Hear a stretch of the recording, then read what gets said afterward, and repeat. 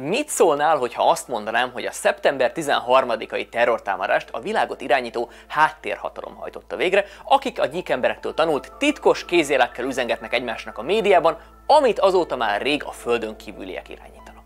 Hát valószínűleg totál elmebetegnek nézni, ráadásul teljes joggal, hiszen mindenki tudja, hogy a terrortámadás nem 13-án történt, hanem két nappal korábban. A többi amúgy stimmel. Nem, nem, nem, csak viccelek, nyugi. Az egész full conteo, amiből szinte egy szó sem igaz.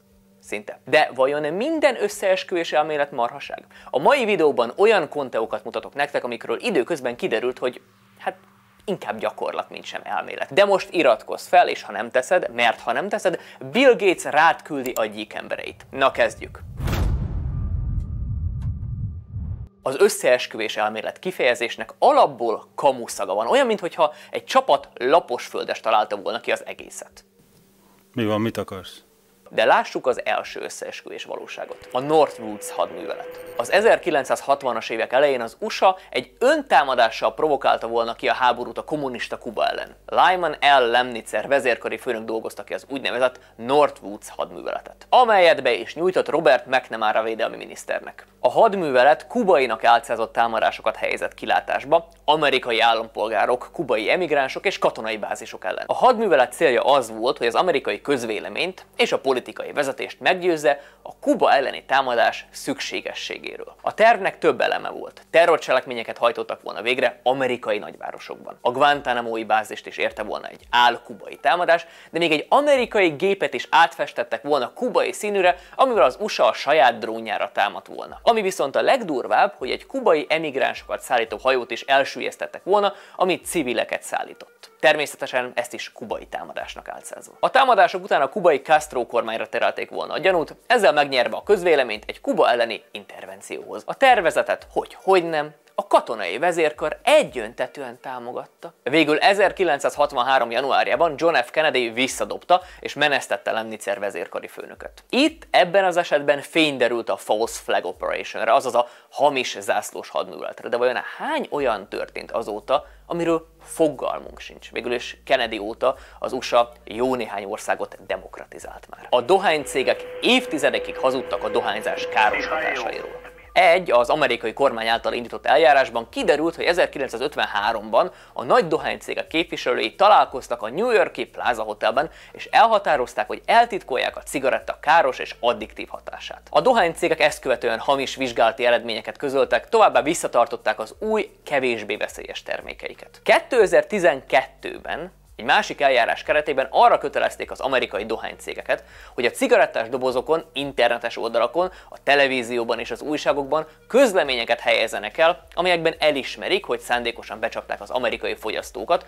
a dohányzás egészségügyi hatásával kapcsolatban, illetve hogy tudatosan dobtak piacra nagyobb függőséget okozó cigarettákat. Ezen felül 2000-ben kiderült, hogy a dohánygyárak több millió dollárt költöttek arra, hogy megnehezítsék a kutatások publikálását, amelyek megállapították, hogy a passzív dohányosokra is rákkeltő hatással van a dohányzás. Micsoda szerencse, hogy ez már a múlté és a 21. század vállalatai sosem betemednének olyan aljasságra, hogy eltitkolják a termékeik káros hatását a kanadai melegradar. Az 1960-as években a Royal Canadian Mounted Police igyekezett egy kicsit tudományosabb, bár hibás megközelítést alkalmazni a homoszexualitás beazonosítására. Készítettek egy gépet, egy bubumétert, amely felismeri, hogy egy személy saját neméhez vonzódik-e vagy sem. Törekvésük célja az volt, hogy a kanadai katonaságból, rendőrségből és a közszolgálati állományból kiszűrjék a homoszexuálisokat. Ember, aki akart feldugni gumiakkal farpillámba, volt homoszexuál? A gépet gyümölcsgépnek nevezték, és dr. Robert Wake, a Carton Egyetem pszichológiai professzora találta fel. A kanadai kormány különféle okok miatt minden homoszexuális köztisztviselőt nemzetbiztonságilag veszélyesnek minősített. A homoszexuálisok biztonsági fenyegetettségének kezelése érdekében a Royal Canadian Mounted Police-ben egy különleges csapat jött létre. Az A3-as részleg egyetlen feladata az volt, hogy azonosítsa a kanadai kormányzati szféra minden homoszexuális munkatársát. Az azonosított homoszexuálisokat azonnal felmentették, vagy lemondásra kényszerítették. A gyümölcsgép tulajdonképpen egy pszichológiai teszt sorozat volt. A teszt során izadási szintet és pulzusszámot mértek, illetve mesztelen fotókat mutogattak nőkről és férfiakról. A látottakra adott reakciók alapján döntötték el, hogy a vizsgált személy melege vagy sem. Nem eszel húst, buzie vagy! A vizsgált alanyok először azt hitték, hogy a vizsgálat célja a stressz szűrés, vagy a, vagy a stressz szint értékelése. Miután kiderült, hogy mi volt a valódi cél, már kevesen vetették alá magukat a vizsgálatnak. Azonban az RCMP tovább folytatta a felderítést. A sorozatos kudarc után a kanadai kormány felhagyott a melegek eltávolításával a tisztviselői állományból, azonban eddigre már legalább 400 ember veszítette el a munkáját vélt vagy valós szexuális orientációja miatt. Becslések szerint ez a szám lényegesen magasabb lehet, mivel az RCMP összesen 9000 embertől gyűjtött adatokat.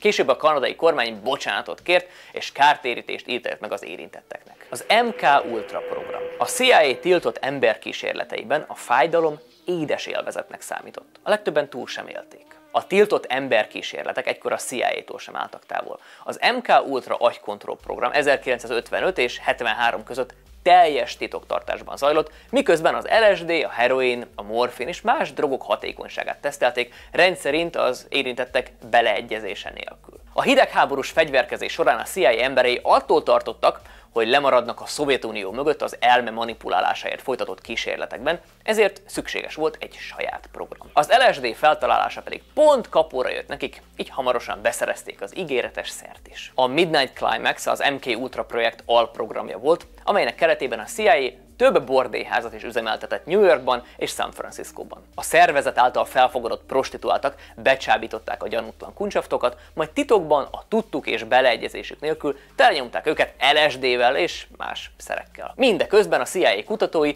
egy dupla üvegfal másik oldaláról figyelemmel kísérték az aktust. Akarom mondani a, a szerhatását. A kutatók ezzel több legyet ütöttek egy csapásra. Egyrészt kényük kedvük szerint kísérletezhettek a halucinogén szerek lehetséges felhasználási módjával, valamint tökéletesítették a szexuális zsarolás és a titkos megfigyelés technikáját. A bordélyházak viszont később már nem nyújtottak számukra elegendő terepet.